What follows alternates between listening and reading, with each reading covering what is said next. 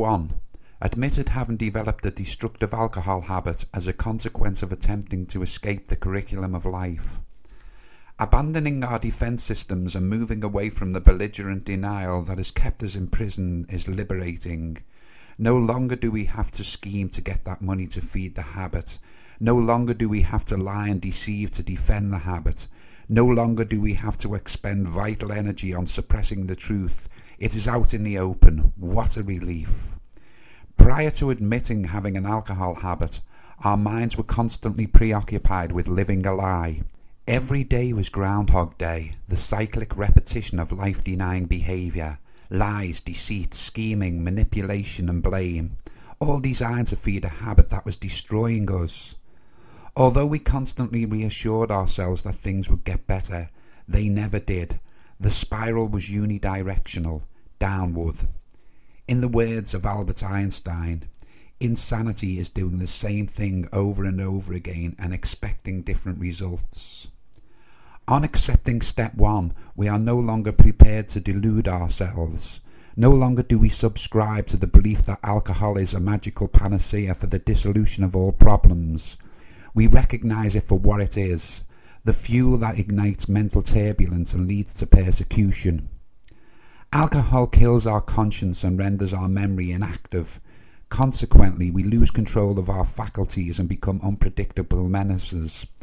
Our normal standards, morals, principles, and ethics disappear as Dr. Jekyll turns into Mr. Hyde, and off we go on a trail of destruction.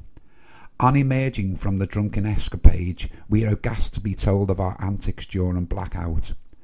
Highly embarrassed and often guilt ridden, we reach for the bottle to obliterate the memory, and the whole destructive cycle starts again. What a shambles! What an utter waste of life! and people exclaim that they can't give it up.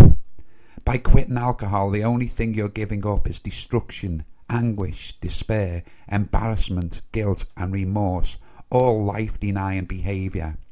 Accepting step one reveals the willingness to change and a longing to live committed to transforming the mental and emotional debris that has warped our mind for years into psychological and spiritual nourishment from which we will grow and flourish, we awaken the archetypal alchemist.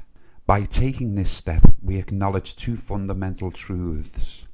One, our primary problem is a refusal or inability to embrace the challenges of life. Two, a destructive habit has transpired as a consequence of repeatedly using alcohol as an escape vehicle. Here we acknowledge that abstaining from alcohol alone will not alleviate the problem. Alcohol is a symptom, not a cause. As weeds grow back if we don't remove the roots, so our destructive alcohol habit will return if we don't address the underlying issues that warrant escape. Relapse is a consequence of unresolved issues surfacing and disturbing our equilibrium. The subsequent mental persecution heightens to such an extent that we seek escape and, like lemmings, throw ourselves back into the abreactive abyss.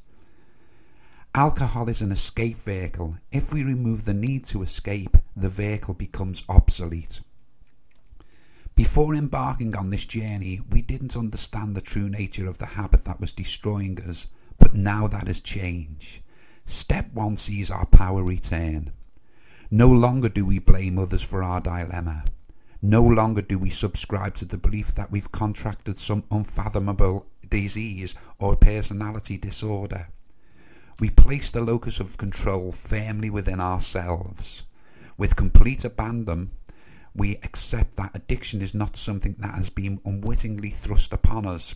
It is a habit by definition, a habit is something that we have taught ourselves to do.